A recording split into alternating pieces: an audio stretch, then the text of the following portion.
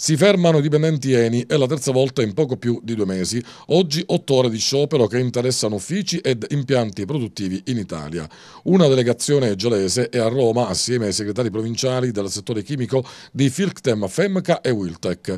No alla prospettiva di un forte ridimensionamento del gruppo Eni in Italia e sia ad una politica industriale del gruppo al fine di rilanciare il ruolo di Saipem nel mercato energetico e infrastrutturale.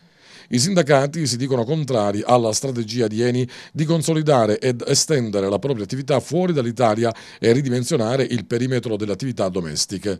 E oggi sit-in anche dinanzi ai tornelli dello stabilimento gelese. Erano in pochi, a dire il vero, solo una ristretta rappresentanza. Il nostro presidio eh, fa parte diciamo, di eh, un, eh, una manifestazione che eh, è nazionale, quindi significa anche negli altri siti eh, hanno, penso hanno, hanno manifestato.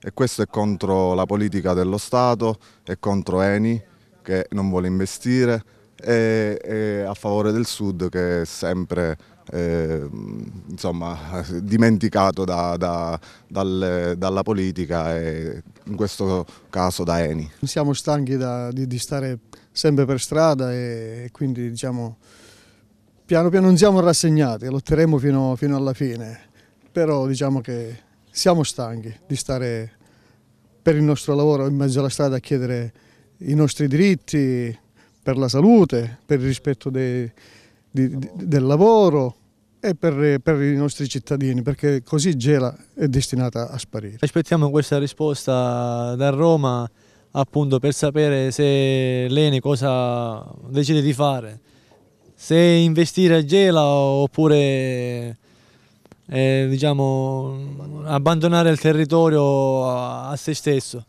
Dunque voi soltanto adesso in attesa di buone nuove dalla capitale. Sì, siamo in attesa appunto, i nostri colleghi sono andati a, ma a manifestare oggi a Roma per avere delle notizie eh, più certe su quello che confortanti su quello che vuole fare qua a Gela, che già ne c'ha di fare a Gela.